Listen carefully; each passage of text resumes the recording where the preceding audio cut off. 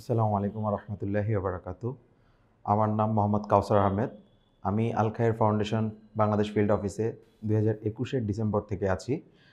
বর্তমানে আমি senior programme officer হিসেবে কর্মরত আছি।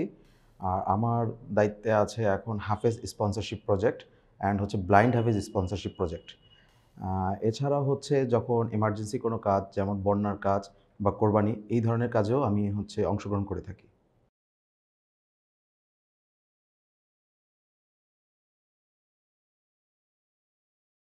আমি বর্তমানে হাফেজ স্পন্সরশিপ প্রোগ্রামের সরাসরি জড়িত পাশাপাশি হচ্ছে ব্লাইন্ড হাফেজের সাথেও আমি জড়িত। আমাদের প্রোগ্রামের মূল উদ্দেশ্য হচ্ছে সুবিধাবঞ্চিত গরিব, এতিম, অসহায়, দুস্থ যে বাচ্চাগুলো সমাজে পিছিয়ে পড়া তাদেরকে সমাজের সাথে একই স্রোতে তাল মিলে চলার জন্য আমরা এই হাফেজ স্পন্সরশিপ প্রোগ্রামটা দিয়ে থাকি। যাতে ইসলামিক শিক্ষার পাশাপাশি তারা হচ্ছে গতানুগতিক যে শিক্ষা ব্যবস্থা আছে তার সাথে তাল মিলে তারা সমাজে সবার সাথে কাঁধে কাঁধ মিলিয়ে চলতে পারে।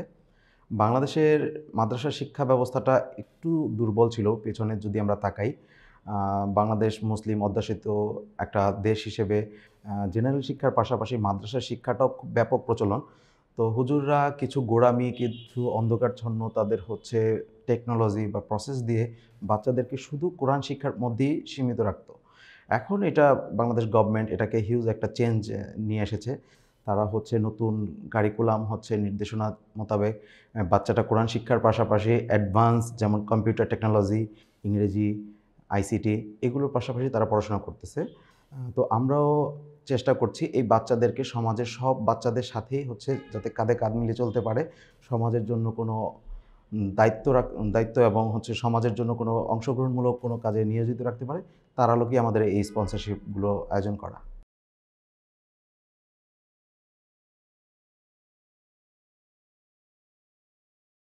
সারা বাংলাদেশে আমরা এখন পর্যন্ত নয়শো চৌত্রিশ জন হাফেজ বাচ্চাদেরকে স্পন্সরশিপের আওতায় নিয়ে এসেছি। এই সমস্ত বাচ্চাগুলো বিশ জেলার উনত্রিশ উপজেলার মধ্যে আছে।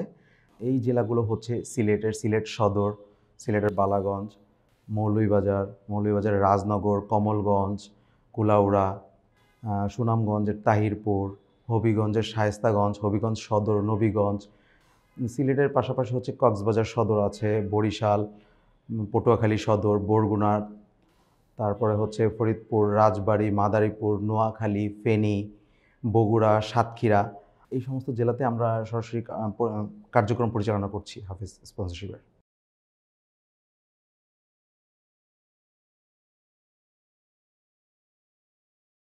এই হাফেজ শিক্ষার্থী নির্বাচনের পেছনে সর্বপ্রথম হচ্ছে আমাদের যারা স্থানীয় প্রতিনিধি আছে, যারা এই হাফেজ স্পন্সরশিপের পাশাপাশি বিভিন্ন ধরনের প্রোগ্রাম করে থাকে সারা বাংলাদেশে, আমরা প্রথমে তাদের দ্বারস্থ হই এই ফর্মগুলোর জন্য যে হাফেজ বাচ্চা আপনারা নির্বাচন করেন। তারপর আমাদের যেখানে প্রতিনিধি নাই, সেখানে আমরা সরাসরি স্থানীয় প্রশাসন আছে, আমাদের শিক্ষিত সমাজ আছে, আমাদের হচ্ছে স্থানীয় সাংবাদিক আছে এই সমস্ত লোকজন মিলে তারা হচ্ছে নির্বাচন করে দেয়। এই মাদ্রাসার অবস্থাটা খুব খারাপ বা এই বাচ্চাটার অবস্থাটা খুব দুস্থ আছে। তো তাদেরকে স্পন্সারও করানো গেলে হয়তো ভালো হয়। তো আমরা সবটা মেনটেন করেই আসলে এই বাচ্চাগুলো সিলেকশন প্রক্রিয়াটা বাছাই করি। এর মধ্যে আমরা যে জিনিসটা সব থেকে বেশি দেখি সেটা হচ্ছে বাচ্চাটার পারিবারিক অবস্থা, সে এতিম কিনা, তার বাবা মা তার ভরণ পোষণ দিতে আসলে পারছে কিনা বা ব্যর্থ কিনা, মাদ্রাসা থেকে তাকে হচ্ছে টাকার জন্য পড়াশোনা ছাড়তে হয়। এই ধরনের জিনিসগুলোকে আমরা আসলে লক্ষ্য রেখেই আমরা এই বাচ্চাগুলোকে সিলেকশন করি।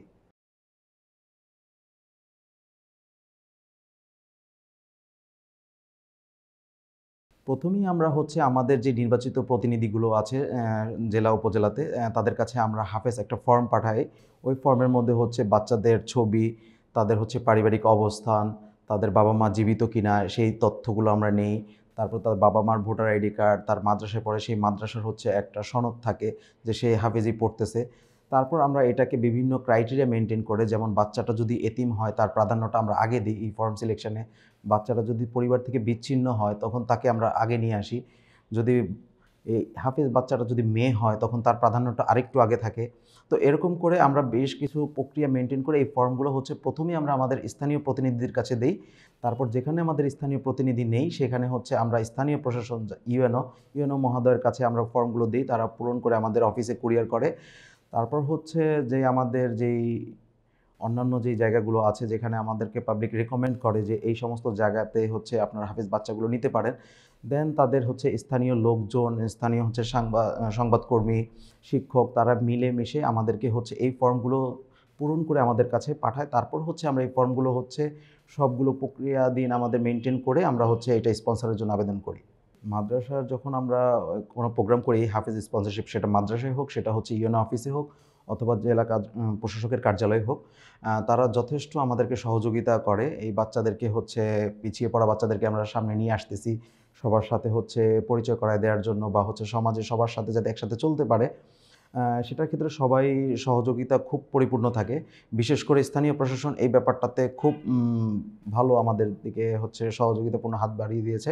কারণ এসডিজি ফোর যেটা আছে সাস্টেনেবল ডেভেলপমেন্ট গোল সরকারের একটা লক্ষ্য নির্ধারণ করা আছে কোয়ালিটি এডুকেশন সেটা হাফেজ এডুকেশনে আমাদের যে কারিকুলামটা থাকে, আমাদের যে দিক নির্দেশনা থাকে, সেটা অনেকাংশেই পূরণ হয়ে যায়।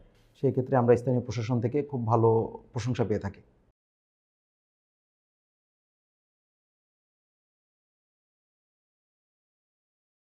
পবিত্র কোরআন শরীফে একশো চোদ্দোটি সূরা আছে, যার মধ্যে ছয় হাজার ছয়শো ছেষট্টিটি আয়াত। এই ছয় হাজার ছয়শো ছেষট্টিটি আয়াত ও একশো চোদ্দোটি সূরা সঠিক উচ্চারণ করে, মুখস্থ করে রাখা, যারা রাখতে পারে তাদেরকে আমরা হাফেজ বলি।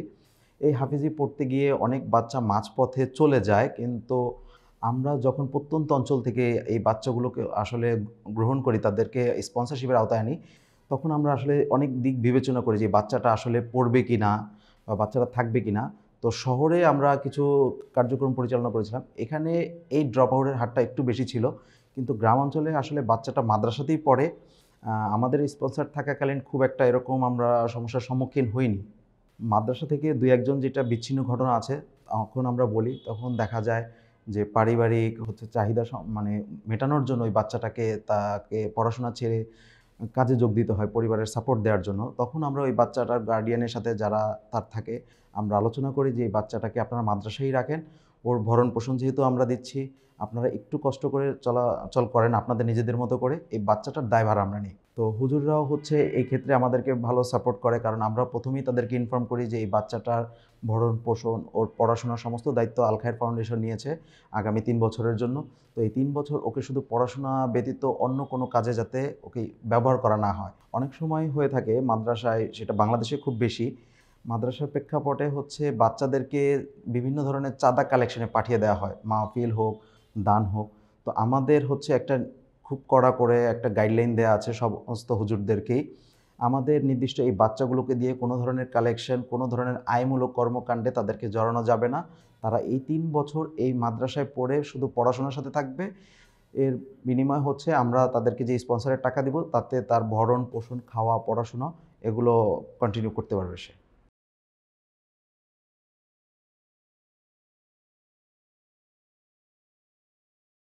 এখন পর্যন্ত আমাদের কাছে সর্বশেষ তথ্য অনুযায়ী তেতাল্লিশ জন কোরআনে হাফেজ পরিপূর্ণভাবে কোরআনের হেফজ সম্পন্ন করেছে। এই সার্টিফিকেশনটা তাদের হুজুর যারা ওস্তাদ আছে তাদের কাছ থেকে নেয়া। এছাড়াও আমরা যখন এই ফলো আপটা করি, তাদের পড়াশোনার হচ্ছে ফলো আপটা আমরা বছরে তিনবার করে থাকি। প্রত্যেক চার মাস পর পর আমরা তাদের হচ্ছে জানতে চাই যে তারা এক, আগে কত পাড়ায় পড়েছিল, এখন কত পাড়ায় আছে। বা পড়াশোনা না হলে হুজুরদের সাথে কথা বলা বা বাচ্চার সাথে কথা বলা সমস্যাটা কোথায়? এগুলো আমরা সরজমিনে আসলে জানার চেষ্টা করি, ফিল্ডে গিয়ে সরাসরি।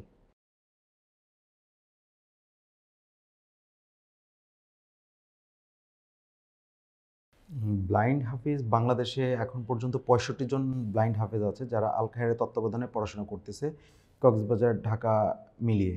আসলে এটা খুব দুঃখের বিষয় যে চোখের জ্যোতি ছাড়া একটা মানুষের জীবনটা যে কতটা দুর্বিষহ হতে পারে, সেটা একজন অন্ধই ভালো বলতে পারবে। আমি বা আপনারা যারা চোখে দেখি, তারা ওইভাবে আসলে এটা অনুধাবন করতে পারব না। আমার সৌভাগ্য হয়েছে, আমি সরাসরি অন্ধ বাচ্চাদের সাথে কথা বলার সুযোগ পেয়েছি এবং তাদের কাছ থেকে তাদের দুঃখ শোনার চেষ্টা করেছি। তারা দুনিয়াতে যদি কোনো কিছু একটা উইশ তাদের পূরণ করতে বলা হয়, তো তারা সর্বপ্রথম চোখেই দেখতে চায়। এই দৃষ্টিহীন বাচ্চারা পড়াশোনার মাধ্যম হচ্ছে তাদের মূলত দুইটা। একটা হচ্ছে ব্রেইল পদ্ধতি ব্যবহার করে, যেখানে হচ্ছে ছিদ্র ছিদ্র ওদের হাতে থাকে। এই হাত দিয়ে ধরে ধরে ওরা হচ্ছে এই অক্ষরগুলো পড়ে, যেটা হচ্ছে ওদেরকে আলাদাভাবে ট্রেন করানো হয়। আর যারা একদমই ছোট থাকে, জন্মগত অন্ধ, তাদের জন্য হচ্ছে শুনিয়ে শুনিয়ে মুখস্থ করা। হুজুররা তেলাত করে, বাচ্চাটা বারবার শোনে, ওইখান থেকে তারা মুখস্থ করে। তো আমাদের এই ব্লাইন্ড হাফেজের ক্ষেত্রে আমরা এরকম একটা কেস দেখেছি, আলমাস হচ্ছে গোপালগঞ্জে। ও পুরো কোরআন শরীফ মুখস্থ করেছে শুনে শুনে, ওর সময় লেগেছিল তেরো বছর।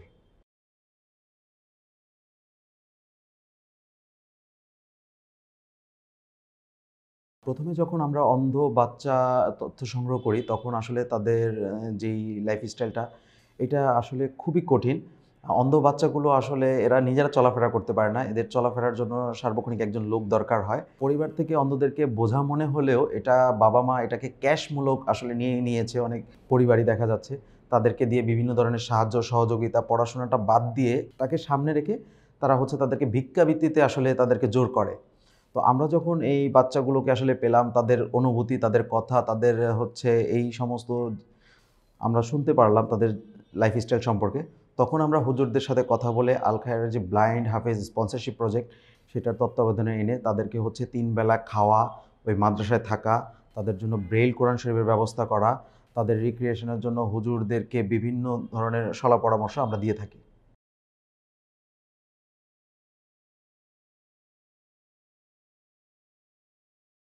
এই অন্ধ হাফেজ বাচ্চাদের জন্য তাদের জীবন মান সুবিধা রাখার জন্য আমরা আসলে এখন তাদেরকে থাকার জন্য ম্যাট্রিক্স তারপর হচ্ছে তাদের কাপড় ধোয়াটা খুব বড় একটা চ্যালেঞ্জিং বিষয়, কারণ তারা নিজেদের কাপড় নিজেরা ধুতে পারবে না। তো সেই ক্ষেত্রে আমরা তাদেরকে ওয়াশিং মেশিন তাদের চুল কাটার জন্য আমরা ট্রিমার তারপর হচ্ছে গরম ছিল কিছুদিন আগে, তো খুব অসহায় তারা ভাবে বলতেছিল যে গরম খুব। তো আমরা তাদেরকে ফ্যান এগুলো প্রোভাইড করেছি, তারপর ফ্রিজ এই ফ্রিজ দেওয়া হয়েছে তাদেরকে খাবারটা যাতে সংরক্ষণ করে খেতে পারে, কারণ অনেক সময় দেখা যায় সমাজের কিছু উচ্চবিত্ত লোক এসে তাদেরকে একবেলা খুব ভরপুর খাওয়ায় দিয়ে যায় অথবা হচ্ছে একটা খাসি এনে দিয়ে যায়। তাদের হচ্ছে পর্যাপ্ত একটা সংরক্ষণের ব্যবস্থা না থাকার কারণে এই একটা খাসি তারা একদিনই বা দুই দিনই এটা খেয়ে পরের দুই দিন আবার উপোসও থাকে।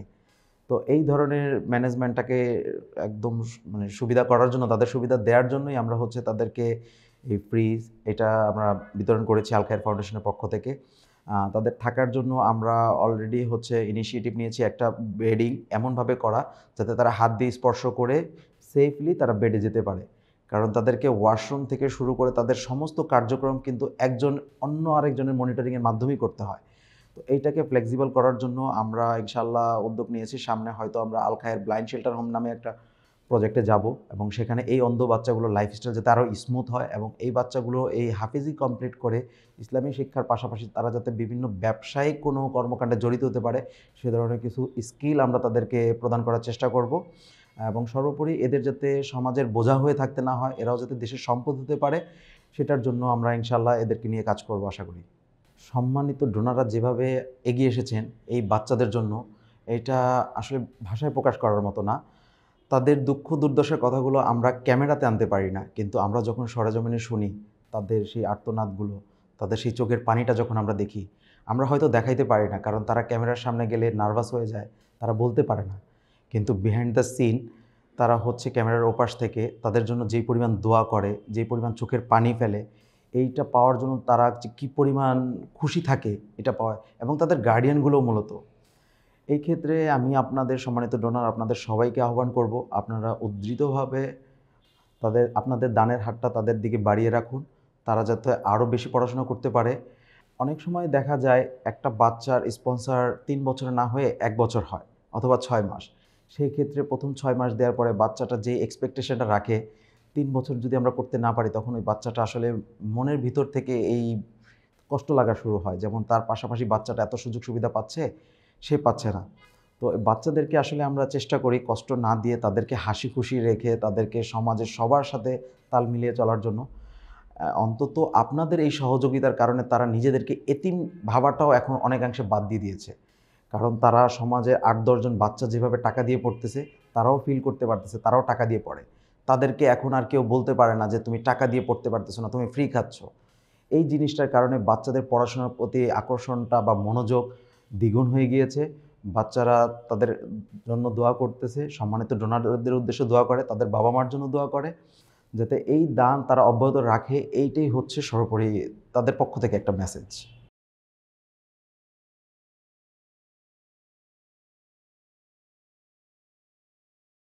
সম্মানিত ডোনার আপনারা যে সমস্ত বাচ্চাদেরকে স্পন্সরশিপ দিচ্ছেন, আপনারা যদি কখনো বাংলাদেশে আসেন, আপনাদের কাছে অনুরোধ থাকবে, আপনার এই বাচ্চাদের সাথে একদিন যোগাযোগ করবেন।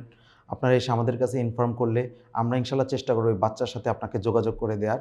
এই বাচ্চাগুলোর সাথে কথা বললে আপনি বুঝতে পারবেন আসলে এই কাজটা সাধারণত অন্য কোনো কাজের মধ্যে অতটা খুশি পাবেন না, যতটা খুশি আপনি এই কাজটা করে পাবেন।